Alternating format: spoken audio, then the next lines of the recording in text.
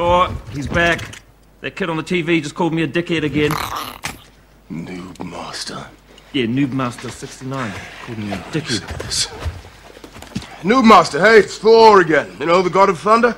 Listen, buddy, if you don't log off this game immediately, I'm gonna fly over to your house, come down to that basement you're hiding in, rip off your arms, and shove them up your butt!